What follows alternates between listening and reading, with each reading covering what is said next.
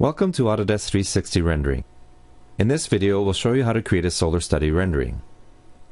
Solar studies simulate the movement of the sun through a scene, so you can see where shadows are going to fall throughout the course of a day.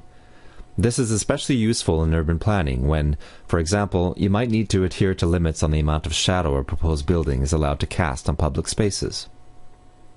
You will need an image created with sun properties from an application such as Revit.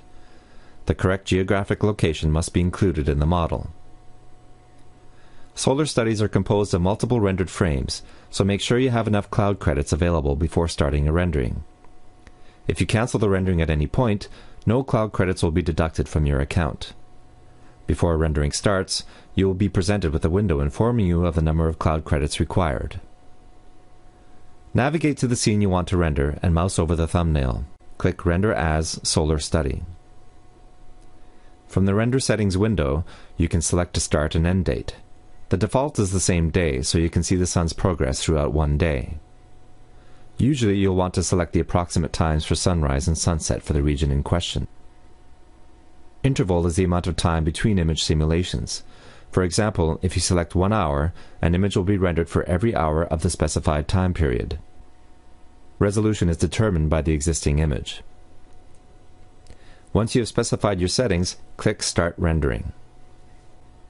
Note that you can also do the rendering from your application. For example, in Revit 2014, you can do this from the Rendering Cloud dialog box.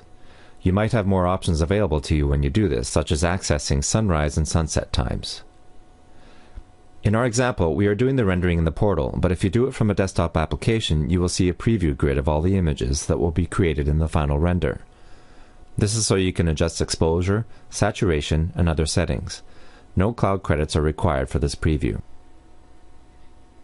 To get an estimate of the remaining rendering time, hover over the progress bar under the rendering thumbnail. The finished solar study displays a time and date for the simulation on the upper left corner. Each interval image is displayed for one second as the movie plays. You can see that as the sunlight diminishes in the scene, artificial light takes its place. You can download the Solar Study using the Download Solar Study option. This creates a zip file containing separate files for each image of the Solar Study. Each image contains a transparency mask. Whether you see the background depends on what program you're using to view the image.